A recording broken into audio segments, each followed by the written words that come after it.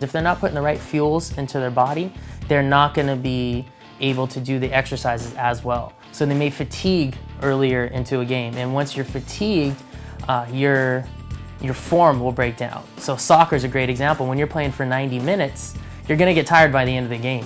So if you if you have poor nutrition and poor training habits, towards the end of the game, your body's going to be broken down, and all of a sudden, when you come land from a header, your body's not as strong as it was at the beginning, and you're going to land maybe more awkwardly. That could lead to injury.